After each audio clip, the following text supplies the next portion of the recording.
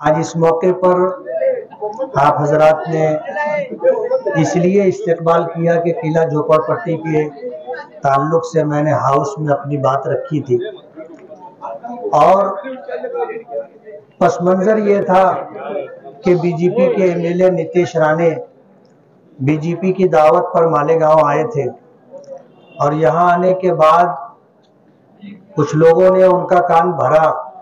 और किला झोपड़पट्टी को ले करके उनको उकसाया और किले में ला करके किले के ऊपर चढ़ा करके झोपड़पट्टी दिखाई और उनको इस बात पर आमादा किया कि हाउस के अंदर इस ताल्लुक से बात रखें कि ये अतिक्रमण निकाला जाए। इस बात का इल्म शहर के तकरीबन सभी संजीदा अफराद को है और ये मुसीबत किला झोपड़पट्टी के साकिनान पर थी।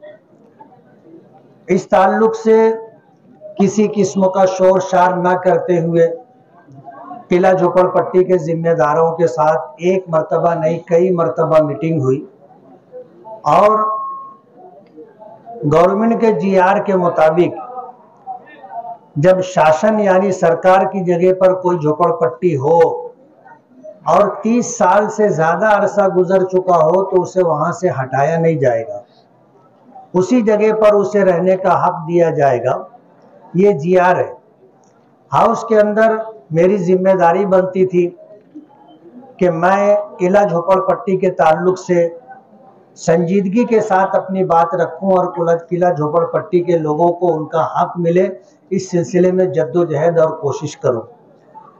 झोपड़पट्टी के जिम्मेदारों के साथ मीटिंग हुई थी और ये हमारा मामला तय हुआ था कि हमें रोड पर नहीं आना है। और धरना आंदोलन करके ऐसा कोई रास्ता इख्तियार नहीं करना है जिससे लाइन ऑर्डर का मसला पैदा हो। और हम लोगों के खिलाफ लोगों को कुछ कहने या करने का मौका मिले। कमिश्नर के साथ बैठ करके मीटिंग हुई और कुछ मामला तय हुए और इंशाल्लाह उन तयशुदा मामला के मुताबिक किला झोपड़पट्टी वालों को उनका हक मिल जाए और जिस जगह पर वो रहते हैं उसी जगह पर पंत प्रधान आवास योजना के तहत उनको पक्का मकान बना करके दिया जा सके, इस सिलसिले की कोशिश हमारी जारी है। हाउस के अंदर मैंने अपनी बात रखी थी तो मैंने इस बात का खास तौर पर ख्याल रखा था कि किसी पार्टी का या किसी पार्टी से जुड़े हुए किसी एमएलए का नाम नहीं लेना है। वजह उसकी यह है कि जब किसी का तस्करा किया जाता है तो उसे गिरा गुजरता है। और हर अमल का रद्द अमल होता है, हर एक्शन का रिएक्शन होता है।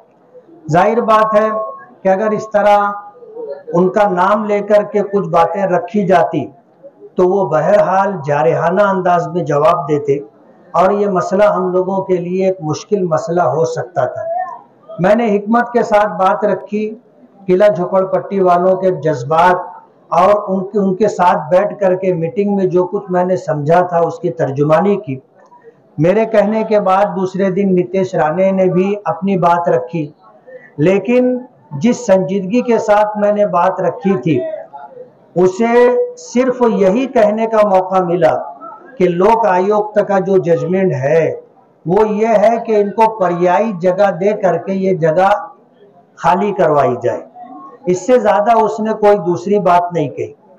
वरना यहाँ आ करके जिस तरह उसने बात की थी कि आठ दिन के अंदर कमिश्नर ये झोपड़पट्टी यहाँ से साफ़ करे।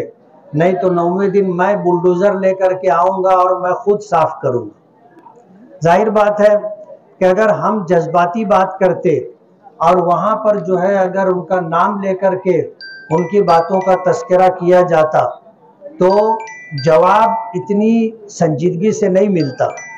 वो जिस मिजाज के लोग हैं और आज सत्ता में होने की वजह से दिमाग जितना ऊँचा हो चुका है, उसकी वजह से इस तरह की तो रखना बहुत मुश्किल था। लेकिन अल्लाह का बहुत बड़ा करम रहा कि उसने सिर्फ़ यही बात रखी और संजीदगी के साथ उसने अपनी बात रखी। तो मैं आप, आज इस मौके पर आपने मेरा इस्तेकबाल किया। इस्तेकबाल की ज़रूरत नहीं थी। मैंने अपनी ज़िम्मेदारी अदा की, अपने नुमाइंदगी का हक अदा किया है। किला झोपड़पट्टी के लोग मेरे अपने लोग हैं। उनका घर उजड़ना मेरे लिए बहुत दुख और अफसोस की बात होती। तो उनको उसी जगह पर जो है रहने का मालिकाना हक मिले। इस बात का मुतालबा मैंने हाउस में किया है। और अल्लाह ने चाहा तो इन हम इस मकसद के अंदर कामयाब होंगे और उनको उसी जगह पर रहने का हक मिले। और अगली कोशिश ये है कि पंत प्रधान आवास योजना के तहत उन लोगों को पक्का मकान बनाकर उसी जगह पर दिया जाए। आज जिस हालत में वो लोग रहते हैं आप देखे हैं और अच्छी तरह जानते हैं। हम चाहेंगे कि इससे बेहतर और अच्छा मकान उनको मिल जाए और वो अपने अहलो अयाल के साथ अच्छी ज़िंदगी गुजार सके, ये हमारी कोशिश होगी। आज इस मौके पर वॉलीबॉल का फाइनल भी है। नबी करीम सल्लल्लाहु अलैहि वसल्लम का इरशाद मुबारक है कि अलमुमिनकवी खैर ज़यीफ़ कि एक ताकतवर मुसलमान, कमज़ोर मुसलमान के मुकाबले में बेहतर होता है। खुद अल्लाह और अल्लाह के रसूल ये चाहते हैं कि हर ईमान वाला इस हालत में रहे कि वो अपना और अपने मुतालिकीन और कौम मिलत का दिफा कर सके। ज़ाहिर बात है, जब आदमी ताकतवर होगा तो वो जालिमों के जुल्म को रोक सके और अपना हक हासिल करने के लिए जद्दोजहद और कोशिश कर सकेगा। अगर कमज़ोर होगा तो वो ना अपना दिफा कर सकेगा और ना अपने से मुतालिक लोगों का दिफा कर सकेगा। अपने अहलो अयाल बीवी बच्चे उनकी जान, माल, दीन व ईमान इज़्ज़त आबरू की हिफाजत हमारी ज़िम्मेदारी है। और ये ज़िम्मेदारी हम उसी वक्त तो पूरी कर सकते हैं जब हमें इस ज़िम्मेदारी पूरी करने के लिए ताकत और सकत होगी। और अगर हम कमज़ोर होंगे तो हम कैसे इस हक को अदा कर सकेंगे? इसलिए नबी करीम सल्लल्लाहु अलैहि वसल्लम ने जायज़ खेलों की हमेशा हिमायत की। हुजूर पाक सल्लल्लाहु अलैहि वसल्लम के ज़माने का वाक़ है। कि सहाब कराम की दो जमात थी, वो तीर अंदाजी का मुकाबला कर रहे थे। नबी करीम सल्लल्लाहु अलैहि वसल्लम ने जब सुना तो आप खुद वहाँ तशरीफ़ ले गए। और वहाँ जाने के बाद आपने एक जमात के साथ होने का ऐलान किया कि मैं इनके साथ हूँ। सामने की जो टीम थी, उन्होंने अपने हाथ रोक लिए। अल्लाह के रसूल सल्लल्लाहु अलैहि वसल्लम ने पूछा कि भाई, तुम रुक क्यों गए? तो कहने लगे कि अल्लाह के रसूल, आप उनके साथ हैं तो उन, जीत तो उनका मुकद्दर होगी, हम तो हार जाएँगे। इसलिए हमने अपने हाथ रोक लिए। तो हुजूर ने फरमाया कि नहीं, मैं तुम सब के साथ हूँ तीर अंदाजी करो। तो बताने का मकसद ये है कि इस तरह के जायज़ खेल होने चाहिए और इसके मुस्बत असरात पड़ते हैं। अभी जैसे मौलाना सिराज साहब ने भी और अतर अशरफी साहब ने भी ये बात कही कि जो लोग आज हालात से वाकिफ़ हैं। मुल्क अपने शहर में ख़ास तौर पर जिस तरह नशा आवर चीज़ों की ख़रीद व फरोख्त के साथ इस्तेमाल करने का मामला बढ़ता जा रहा है, उस पर कहीं ना कहीं कदगन लगनी चाहिए, रोक आनी चाहिए। हमने तो अपने शहर को नशा मुक्त करने का बेड़ा उठाया है। मैंने पिछले अधिवेशन में भी शहर के अंदर जो नशा आवर चीज़ें बेची जाती है और इसका इस्तेमाल होता है, उसके खिलाफ मैंने आवाज़ बुलंद की थी। यही वजह है कि सीनियर एसपी शाजी ओमप ने जो है एक बेड़ा उठाया है कि मालेगांव शहर को नशा मुक्त करना है और इस सिलसिले में पूरी ताकत के साथ वो कार्रवाई कर रहे हैं। पिछले कुछ दिनों से आप नहीं सुन रहे होंगे कि नशा और चीज़ों की खरीदो फरोख्त हो रही है। जितने भी सोर्स थे उन लोगों को गिरफ़्तार करके, छोटी मछलियों को पकड़ करके, बड़ी मछलियों तक पहुँचने की कोशिश की जा रही है और इस सिलसिले में कामयाबी भी मिल रही है।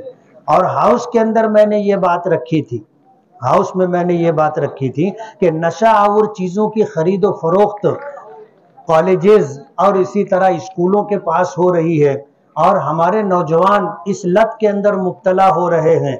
अगर स्पोर्ट्स को सरकार बढ़ावा देगी और अज़ीज़ कल्लू स्टेडियम के लिए बड़ा फंड मंजूर करेगी।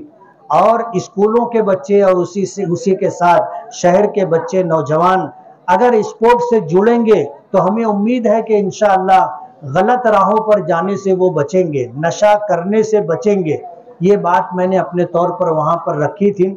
इसलिए जिया सरहदी साहब जो काफ़ी दिनों से आज बताए, तीस साल से इस तरह के खेलों का इनका कर रहे हैं। मैं उन्हें दिल की गहराइयों से मुबारकबाद दूँगा और उसी के साथ ये कहना चाहूँगा कि इन जब ये सीज़न शुरू होगा तो आमदार चषक के तहत इन हम लोग ये प्रोग्राम नेशनल लेवल पर करेंगे और हमारे शहर को इनशाला यहाँ जैसे नेशनल लेवल के खिलाड़ी तैयार हुए हैं, ऐसे दूसरे और बच्चों को भी इनशाला मौका मिलेगा।